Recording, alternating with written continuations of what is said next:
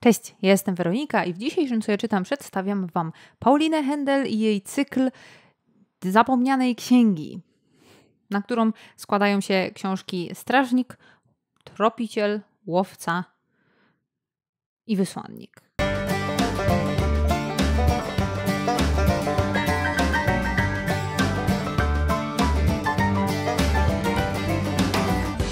Po te książki sięgnęłam trochę za waszą namową, to znaczy sama sobie wybrałam ostatnim tam, co chcę przeczytać. E, mówiłam wam o tym, że zastanawiam się nad Strażnikiem i w komentarzach dużo było opinii, że spoko, fajna książka, można czytać, więc stwierdziłam, że dobra, no to zacznę czytać i przeczytałam w miesiąc wszystkie cztery. I powiem wam tak, o ile ze Strażnikiem miałam pewien kłopot, o tyle każda kolejna książka była coraz lepsza. Pokrótce Wam streszczę. Będą spoilery, więc będę Wam mówić albo pokazywać, w którym momencie będzie która część. Więc jeżeli chodzi o strażnika, mamy Huberta, który jest na wycieczce szkolnej w wieku 17 lat w Paryżu i który pod Louvrem tam umawia się z jakimiś dziewczynami, jakby wycieczka jest zupełnie gdzie indziej, ale oni od ten Louvre, Louvre wybucha. E, w tym momencie chłopak traci przytomność i budzi się 7 lat później w Polsce gdzieś pod Poznaniem. Okazuje się, że nie pamięta nic z tych 7 lat, że na świat spadła apokalipsa, to znaczy e, ten atak na Louvre to była pierwsza jakby faza. Bomby powybuchały w większości ważnych miast na całym świecie.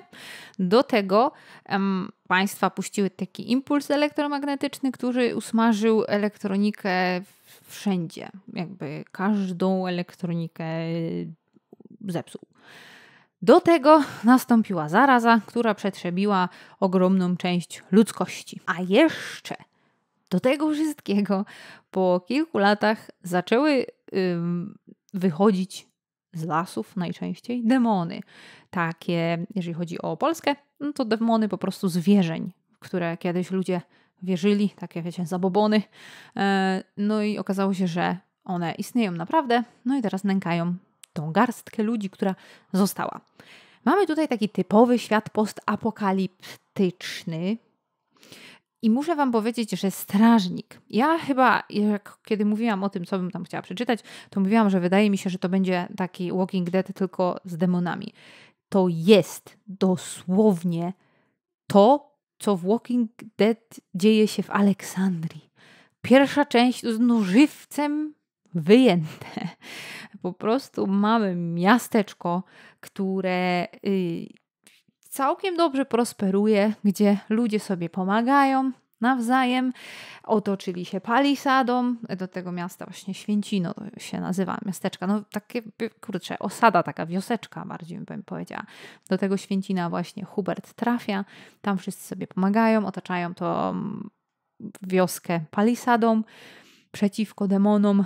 Mają tam strażników, którzy dbają o to, żeby żaden potwór się nie wdarł mm, do środka nikogo nie zabił. Oczywiście zdarzają się wypadki i czasem ludzie giną. Więc naprawdę, jeżeli oglądaliście serial Walking Dead, to to jest żywcem wyjęte z takich tych lepszych, może nie lepszych, ale weselszych odcinków o Aleksandrii. Czyli taka sielanka. Od czasu do czasu pojawiają się demony. Nie ma tu nic tak strasznego jak Nigan.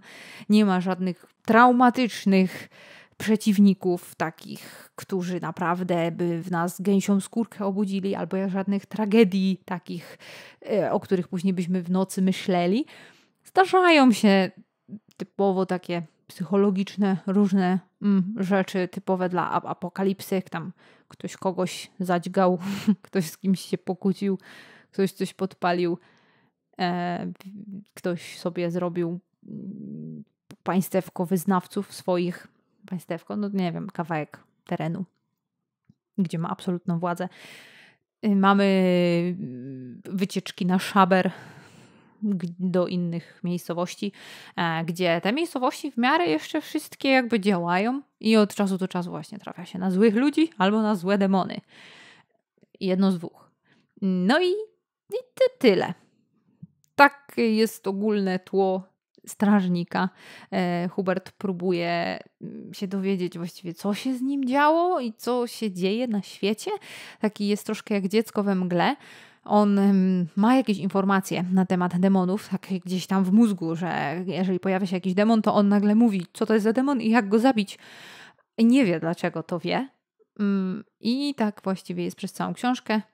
Mm, próbuje się dowiedzieć coś o swojej przeszłości, ale e, no, średnio mu to wychodzi. Kolejna rzecz w tej pierwszej części, czyli w Strażniku, to romanse.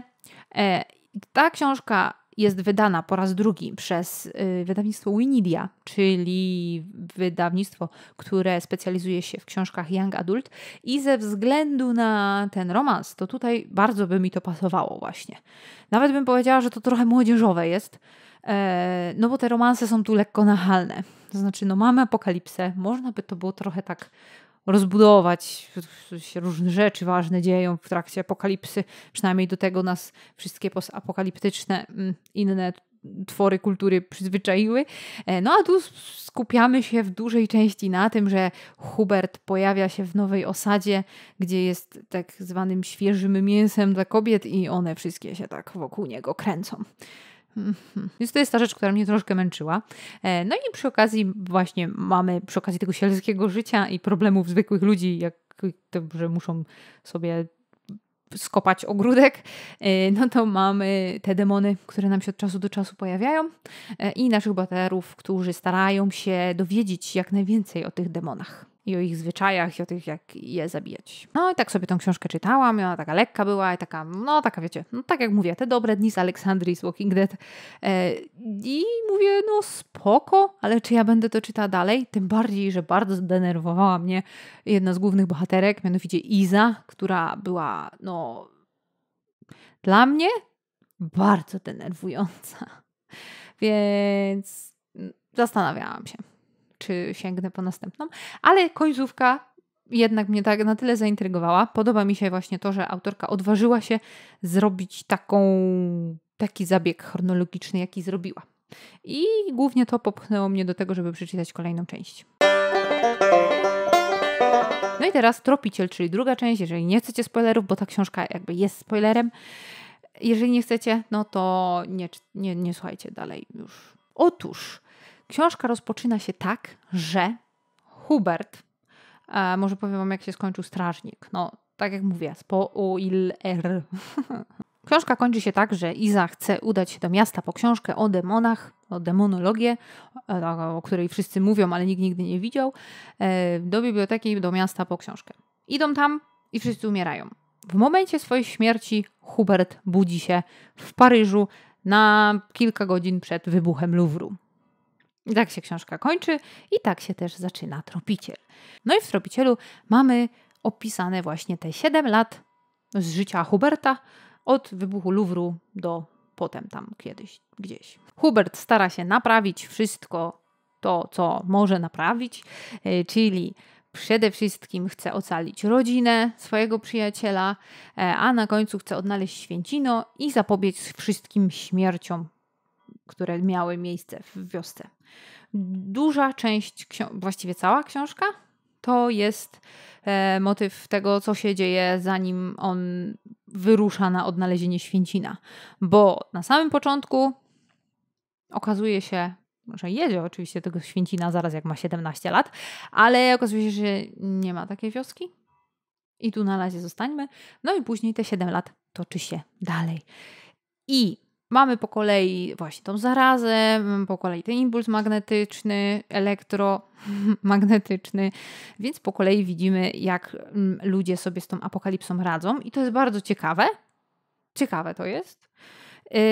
Dodatkowo mamy Huberta, który jest siedemnastolatkiem, ma taką naturę jakby siedemnastolatka e, i przeżył już to, co tam przeżył w Święcinie i teraz jest bardzo zły, że nikt mu nie chce wierzyć, to po pierwsze, a po drugie, że nikt się nie liczy z nim, bo w Święcinie już po pewnym czasie ludzie się z nim liczyli, chociaż patrzyli na niego z przymrużeniem oka, jako na takiego, co średnio ogarnia, no bo on jakby nie wiedział, w jakim świecie się znajduje i wiele dla niego rzeczy było nowych. E, natomiast y, teraz traktują go jak dzieciaka i on jest bardzo tym sfrustrowany do tego stopnia, że już też mnie zaczęło to irytować, że taki jest strasznie wyrywny, jest wyrywny właśnie do tych demonów, jego rodzice go cały czas stopują, że jest dzieckiem i że się za bardzo, mm, za bardzo się naraża. No, on się denerwuje.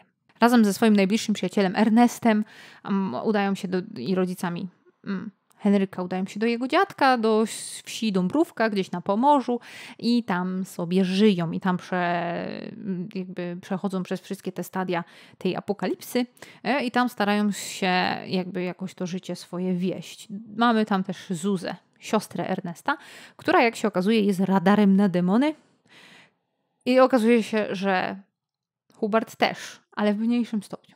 No i mamy ich jakby perypetie. Tutaj mamy troszkę więcej szczegółów. Mm, wychodzimy trochę bardziej poza obszar tej jednej wioski, tak jak w pierwszej części było Święcino i bardziej to, co się tam dzieje.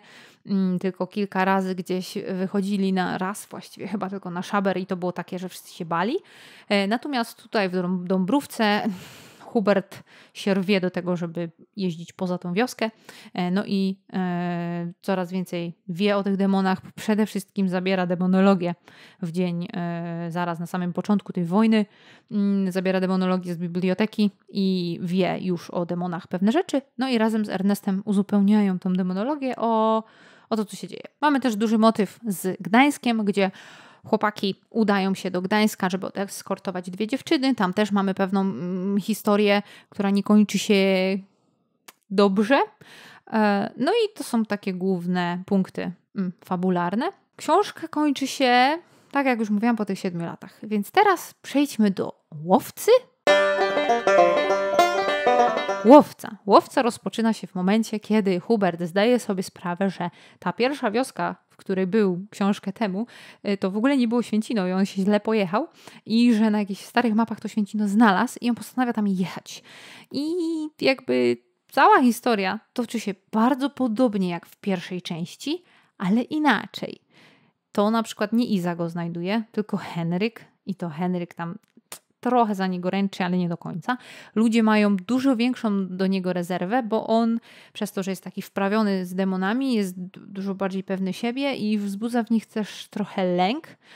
Mm, z Izą tutaj sytuacja jest już jakby dużo lepsza, bo on bo nie ma takiego nachalnego romansu. Właściwie bym powiedziała, że mało co go jest, ale to dobrze. W tej części oni rozmawiają ze sobą, próbują się jakoś dogadać, ale nie jest to tak bardzo nabuzowane emocjami, jak w tej pierwszej młodzieżówkowej części. I Hubert stara się zapobiec wszystkiemu, co było złe.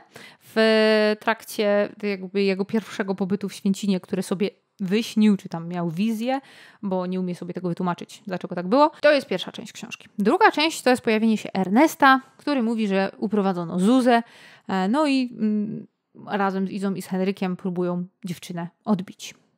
I ta część już jest dużo lepsza, chociaż powiem Wam, że ta pierwsza część ze Święcinem, gdzie on pojawił się tam znowu, to jakby to był mój taki moment krytyczny, że już mi się nie chciało tego czytać, bo czytałam trzy książki pod rząd w jednym świecie oparte.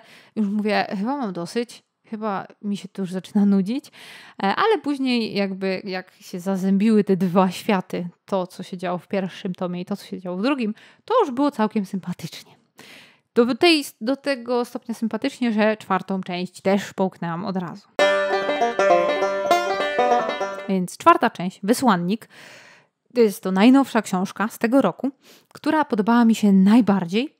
E, i która już bym powiedziała, że w ogóle koło młodzieżówki to ona nie leży. To jest typowa takie post-apo z budowaniem świata od nowa, bo Hubert z Ernestem stwierdzają, że trzeba jakoś skonsolidować te wioski rozrzucone, żeby mieć y, jakby sojuszników, żeby się wymieniać handlowo, żeby zrobić sobie jakieś takie bazy, jakieś bezpieczne domy na mm, jakby szlakach, y, do których można wracać i żeby mm, można było bezpiecznie podróżować, bo jak wiadomo jest, y, są demony cały czas, wręcz bym powiedziała, że jest ich coraz więcej i są coraz groźniejsze. No i o, na tym polega cała czwarta część, która bardzo mi się podobała i żałuję, że to nie jest jeszcze koniec, że przeczytałam już aż cztery książki i teraz muszę czekać, nie wiem, rok na kolejną. Więc podsumowując, jest to saga, która bardzo różni się dla mnie poziomem między książkami. Pierwsza a czwarta, no to naprawdę dla mnie to jest lekka przepaść. Pierwsza jest młodzieżówkowa, lekko naiwna, taka bardziej o romansie w czasie postapokalipsy e, niż e, o samej tej postapokalipsie. Natomiast już czwarta, no to jest naprawdę takie budowanie świata z gruzów. Polecam Wam, bo mi się podobało. Świetna przygoda to była. Na dzisiaj to wszystko. Dziękuję Wam za oglądanie i do zobaczenia następnym razem.